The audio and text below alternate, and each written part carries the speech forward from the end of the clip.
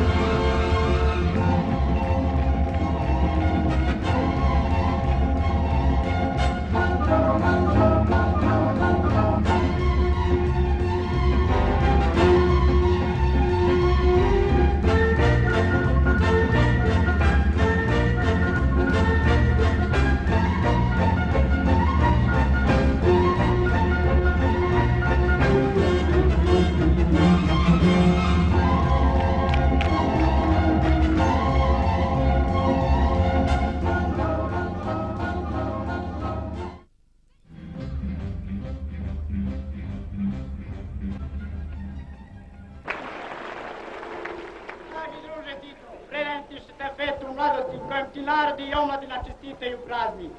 Milioni ljudi na ovaj način manifestuju svoju delu koju stvaramo predvođeni tobom i savezom komunista.